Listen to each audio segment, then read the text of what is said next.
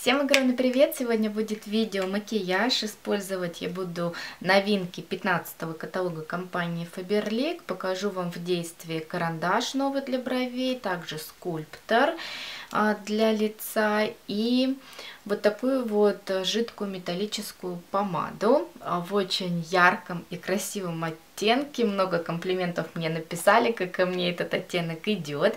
И также, как и обещала, а, выскажу свое мнение о грядущем кэшбэке у компании Faberlic, что я о нем думаю, нравится мне либо не нравится. И давайте начнем.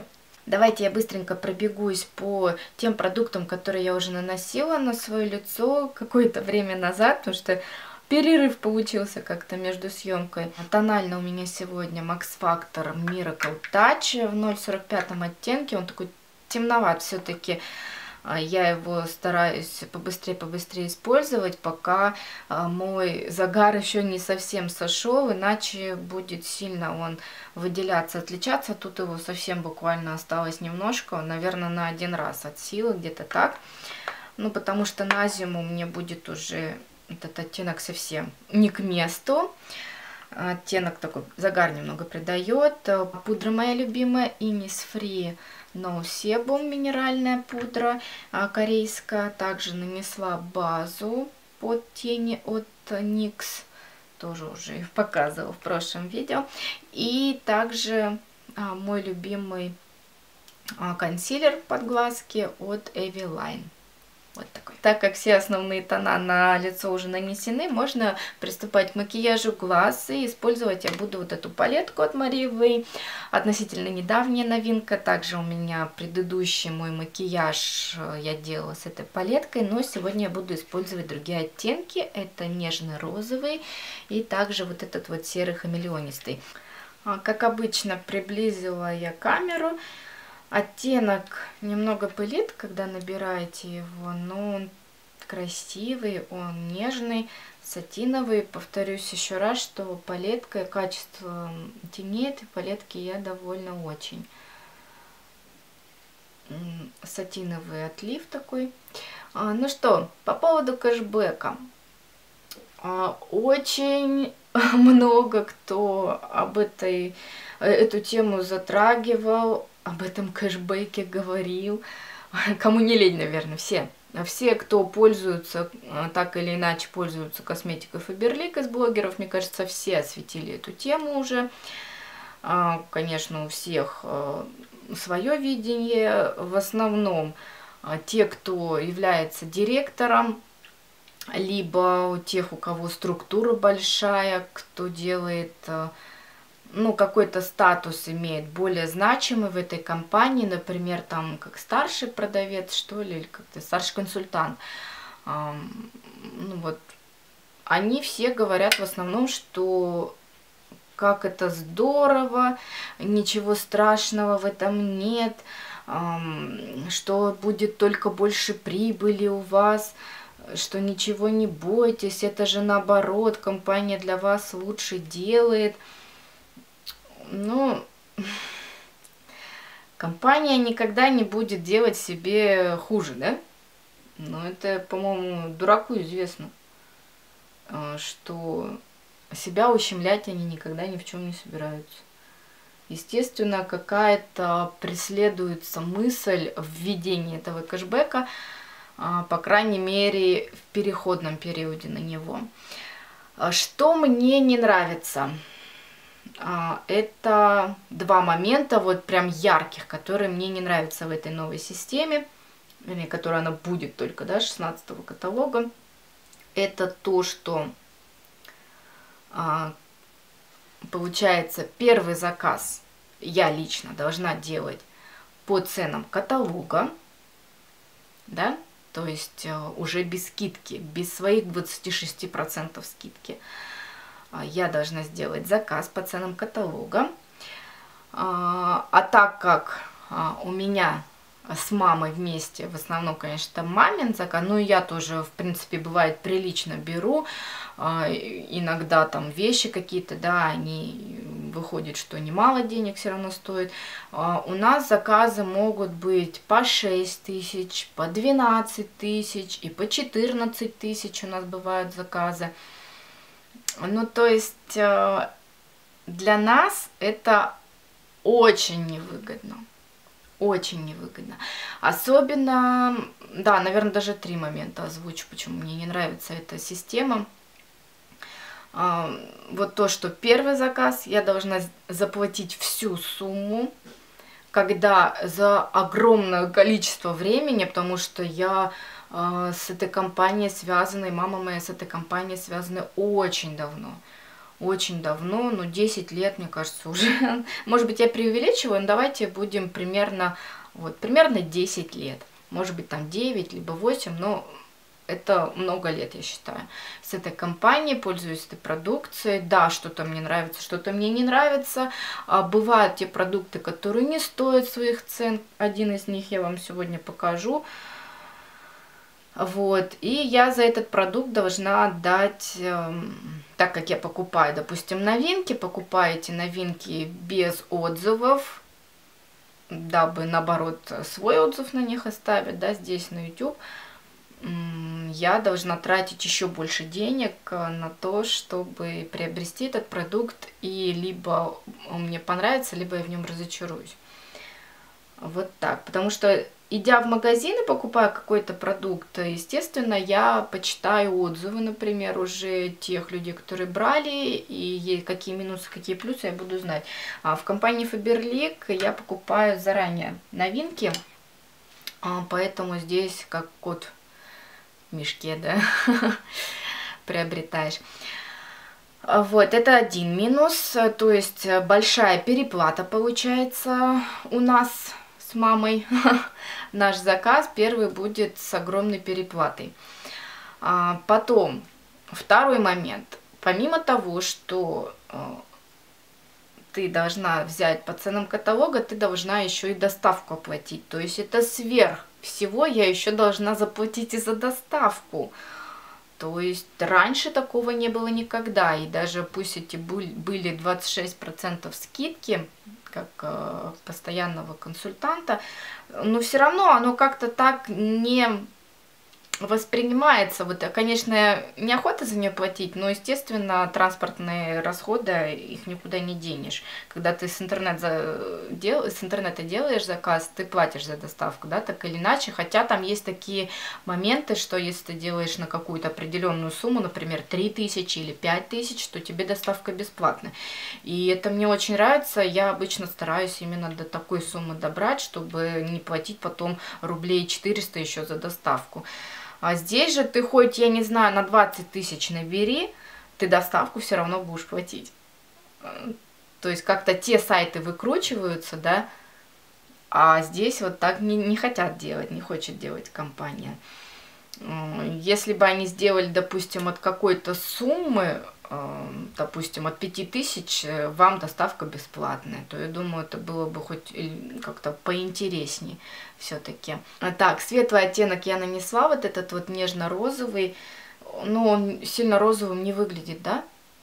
Красивый такой оттенок. Теперь э, вот этот вот сатиновый эм, хамелеонисто-серый я буду им ну, как бы растушевывать и немного в уголок. И еще по вот этой доставке, то есть э, возможен такой результат от этого, что те люди, которые у тебя покупали раньше продукцию по каталогу, если ты им будешь сейчас говорить, а еще заплати за доставку, а, могут отказаться от твоих услуг. Это не очень приятный момент. Соответственно, у тебя э, могут упасть вот этот вот оборот, вот эти продажи, а, ты не будешь набирать э, те баллы, а, чтобы оставаться вип-консультантом, потому что я остаюсь вип-консультантом уже длительное время.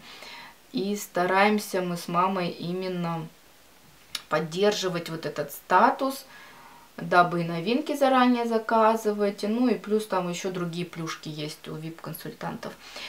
Вот так, да, не очень приятный момент. А, и также, что касается еще моих клиентов, маминых клиентов, Не, допустим, своим подругам, а, лучшим подругам, да, я продаю продукцию по цене, по своей. Конечно, я им прибавляла э, доставку, но это все равно выходило меньше, чем каталог. Я по своей цене э, продавала. А как сейчас я буду продавать? Я должна сказать, заплати по цене каталога и плюс еще доставку я тебе начислю за это. Потому что со своих денег почему я должна оплачивать доставку, опять же таки, да? Ну, вот этот момент мне не нравится. Я его, не знаю, не хочу воспринимать, потому что, ну, не нравится он мне. И также у мамы э, есть ее девчонки, которым она продавала продукцию со скидкой, э, со своей. И они делали хорошие заказы. А как сейчас это будет все выглядеть, я не знаю, честно. Ну, как-то... Как можете заметить, этот э, серый оттенок, он э, на глазах не такой темный, да, получается. И растушуем немного в уголочке его. Какой-то еще один момент был, который мне не нравился, и вот я, у меня прямо с головы вылетело, что я хотела сказать, по какому поводу. Вот что-то мне еще какой-то вот такой минус для себя, по крайней мере, я нашла а, в этой системе.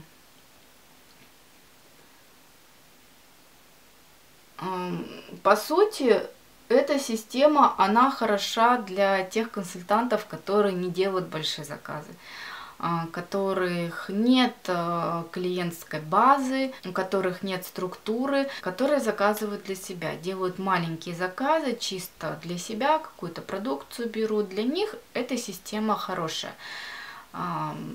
Они будут, если они 6 а, периодов подряд делают по 1000, то у них кэшбэк становится 26%. А так они, новые консультанты, они входят с кэшбэком 15%. Э, если вы в 15 каталоге зарегистрируетесь и сделаете заказ на 50 баллов, по-моему, то тогда вы сразу тоже входите, ну, если я не путаю, то ли с 20, то ли с 26% кэшбэка. В общем-то, очень много информации по этому поводу с таблицами, со всем вот этим. И я смотрела, как представляют, предоставляют эту систему а, директорам. Я, я считаю, что это, наверное, все-таки директора, которые ее шибко-шибко нахваливают, как здорово и как, э, какая большая прибыль у вас будет. Но, не знаю. Я не считаю, что вот э, такой консультант, как я, получит большую прибыль. Не считаю. А Все-таки, мне кажется, это наоборот будет даже убыток. Все-таки. А, тот кэшбэк, который я получу за свой большой заказ, естественно, если я буду делать потом маленький заказ, я его полностью не могу потратить. А, для меня было бы, наверное, огромным плюсом такой системы, если бы кэшбэк был выводимый, если бы я могла вывести эти деньги себе на карту обратно, тогда бы, мне кажется, вообще ни у кого бы никаких вопросов по этому поводу не было бы, все были бы счастливы, то есть они бы себе вернули деньги на карту и могли бы потратить их на что угодно, допустим, как получается это сейчас, да, ну вот что, э, как делают э, таблички, я видела, показывают, что разницы никакой нет, что ты закажешь на тысячу рублей, заказ сделаешь, у тебя вот кэшбэк столько будет, тебе вернется, э, ты потратишь, сколько ты сделаешь также по вот этой вот системе, которая еще до сих пор действует до 16 каталога. Но, а, по сути, я же все равно переплачу. Но все равно я переплачу, и эти деньги у меня останутся у Фаберлик. Я же ими не смогу воспользоваться на что-то другое. Если сейчас я не доплачиваю эту сумму, да, и она у меня в кармане остается, вот эти 26% моей скидки как консультанта, они остаются у меня, я их могу потратить на что угодно, по сути. Но здесь же получается, что эти 26% теперь будут оставаться на счету у компании Faberlic, на моем личном счету. Их потратить я смогу только на эту продукцию. Не очень удобная система. Для меня не очень удобная, не считая ее супер-пупер, как ее описывают. Ну, это мое личное мнение. Да, хорошая система для тех, кто чисто для себя делает маленькие небольшие заказы. Может быть. Э. И это подстегивает, естественно, то, что деньги там лежат, и они могут еще и сгореть. Причем, если вы не будете делать э, заказы не помню сколько периодов, э, то ли два, то ли три, то ли полгода, может быть, э, то у вас деньги сгорают. И, кстати, кэшбэк уменьшится, если вы пропустите какой-то период. Давайте я еще этот темный оттенок нанесу на нижнее веко.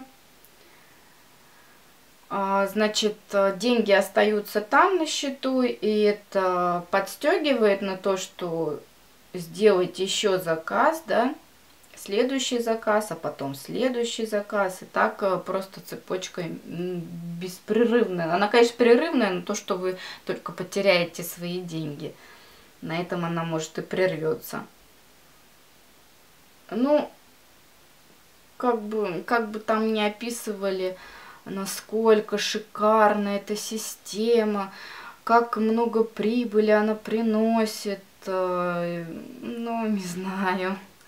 Не знаю, не знаю. У нас народ такой, что ему сложно доказать, ну, обычным консультантам, да, что как тебе будет выгодно-то покупать вот без этой скидки 26%.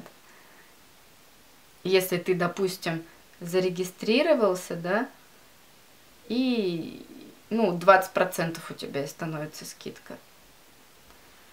И ты можешь, э, раньше, по крайней мере, было так, что ты можешь несколько периодов подряд не делать заказы, а потом сделать. И там тебе еще компания подарочек э, может подкинуть, и скидка у тебя 20% все равно остается. А теперь такого нет.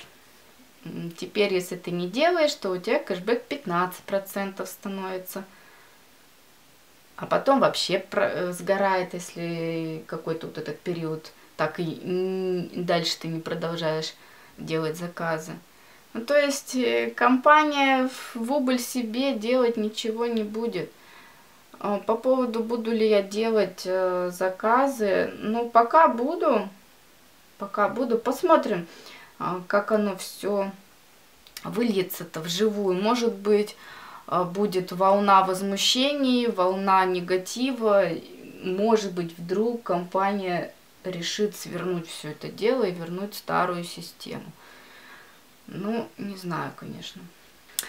Вот такой макияж. Теперь я сделаю только а, ресницы, в общем-то, и покажу вам, как рисует карандаш. Тушь у меня сегодня это вот такая ультра черная от Faberlic объем на 54,62 на силиконовой щеточкой. Вот такой вот большой.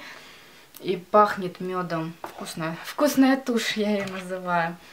А, она хорошо прокрашивает реснички, но ее, это, наверное, единственная тушь у Фаберлик, которая сложнее всего смывается. Вот такое мое мнение о кэшбэке. И я не рада. Лично я не рада такой системе.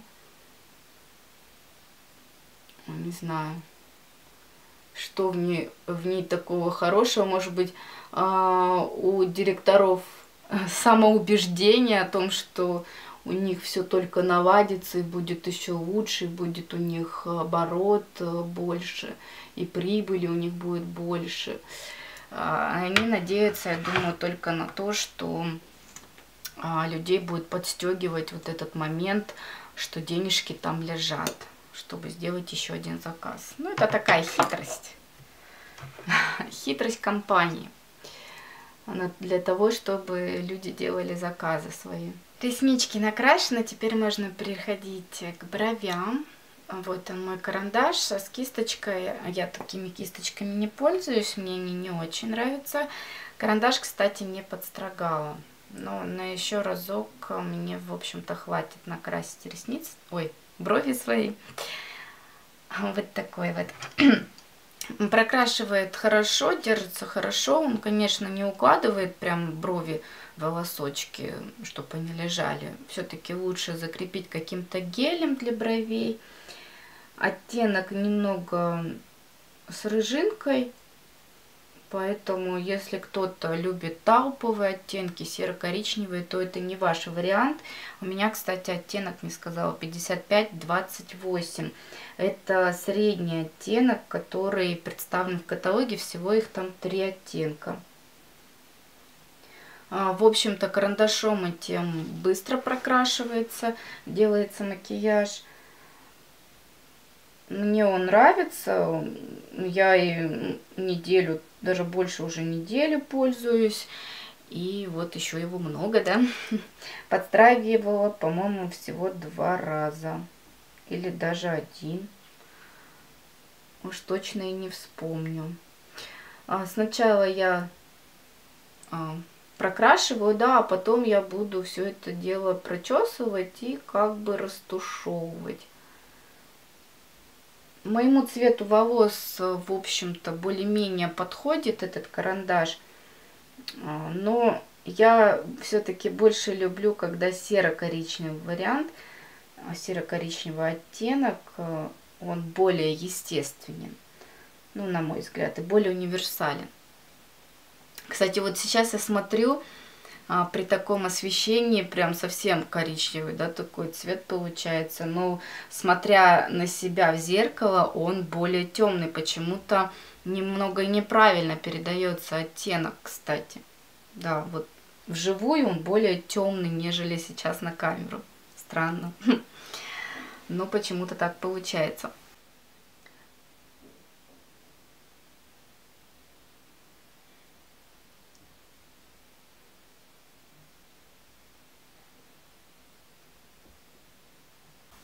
А, итак, брови я свои оформила, но почему-то мне кажется, что они все-таки более рыжими смотрятся, чем вот вживую в зеркало сейчас.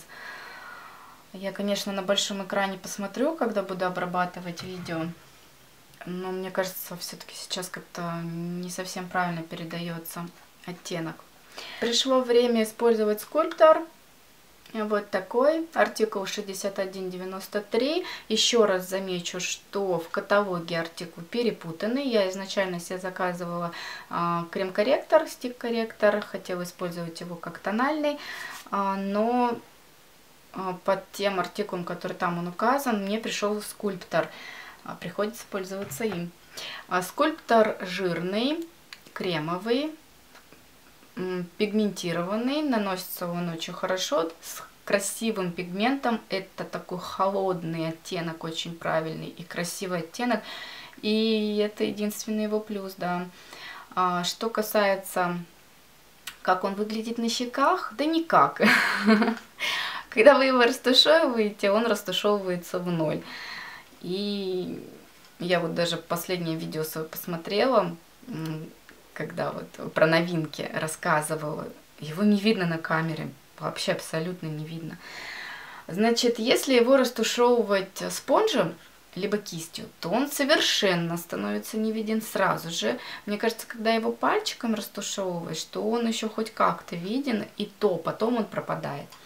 Не знаю, почему там девчонки говорили, что хороший продукт. Видела я просто отзывы на вот эти вот стики, что отлично, все, все у них есть, и тень, и все дают. Но вот на моей коже, на моем лице ничего этого нет. Конечно, когда сейчас вот так вот намажешься, это будет что-то с чем-то. Смотрите. Яркий, да? Пигмент. Ну, давайте с другой стороны под скулу нанесем. да? Вот такой вот индеец называется. Вот такой вот индеец.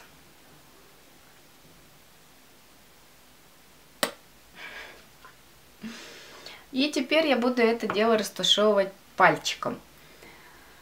Значит, вот так, э, так как это такая жирно-кремовая субстанция, да, а, соответственно, все это еще и остается на пальчике. Чем больше пальцев вы используете в этом, тем а, больше продукта на них остается и менее остается на ваших скулах. Ну вот сейчас видно, да? Видно, но потом сейчас мы дотушуем все это дело.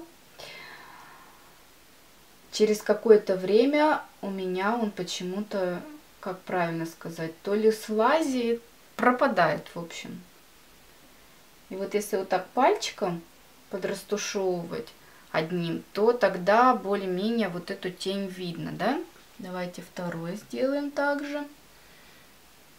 Но через какое-то время я вам, ну, серьезно не вру, он почему-то пропадает.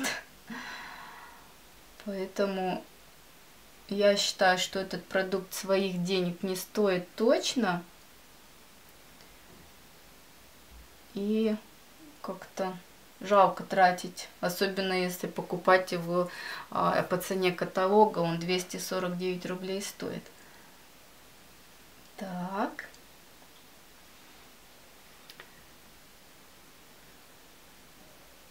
Угу. Может быть, такой способ нанесения неправильный. Я, кажется, сейчас такая матрешка. Я не визажист. Я только любитель. Угу. Ну, вот так вот, вот. Ну все, нанесла, смотрите. Так вот вроде бы есть, да, какая-то тень такая темная. Сейчас вживую, кстати, не такой яркий оттенок, как он сейчас на камеру передается. А вот такой вот он, в общем, да. Пока, мне кажется, его видно. Опять же таки, а, я когда снимала видео, рассказывала об этом а, стике, мне казалось, что вот в окошке камеры его очень видно. Но когда я стала обрабатывать видео, я посмотрела, нет, его не видно, поэтому не буду делать заявление, что сейчас его видно. Потому что вот, смотря в зеркало, я его практически не вижу. Либо он такой супер-пупер натуральный, но лично я не советую, меня не впечатлил он.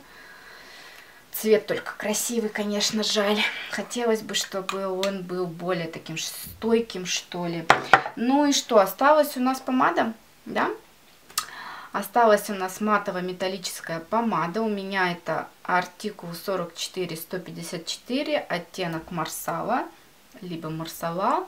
Ну, кстати, напишите в комментариях, куда правильно ставится ударение. Это вот такой вот а, спонжик небольшой с приятным фруктовым ароматом, даже, наверное, сливочно-фруктовым. Наносится помада легко, быстро. А, спонжиком хорошо все разносится, прочерчивается контур. И она довольно-таки стойкая. Ну, давайте накрашу, а потом буду разговаривать.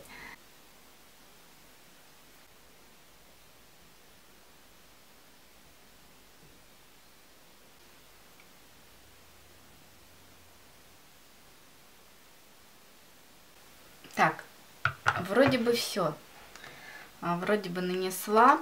Значит, э, помада матовая, она не имеет перламутра, но у нее вот этот хамелеонистый такой перелив а, с золотом, и она может бликовать эм, вот на таком искусственном освещении. Я заметила, что она может бликовать, вот э, какие-то блики давать, и кажется, как будто бы где-то нанесено а, меньше, да, неровно, но нанесено ровно а, по контуру, я имею в виду. А, в общем-то, цвет красивый, да, такой.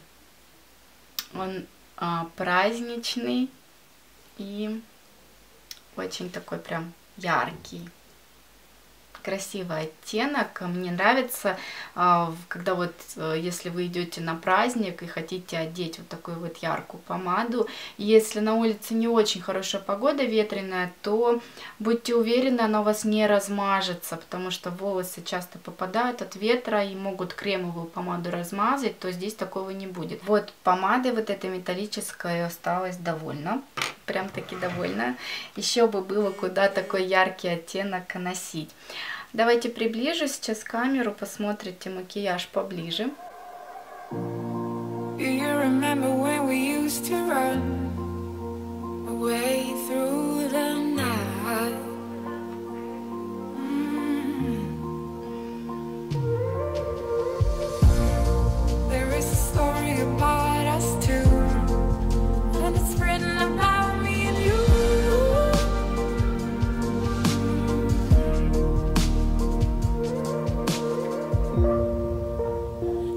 can bring us down, cause we are together now.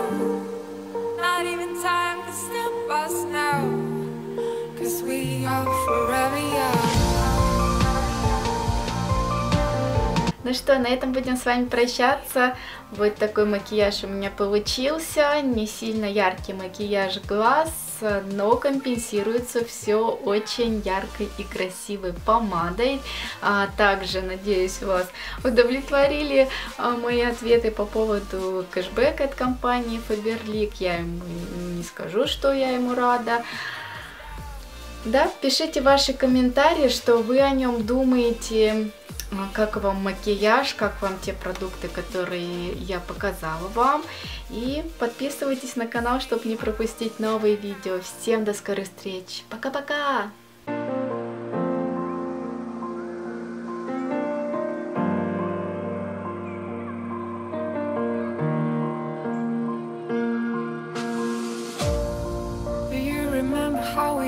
to run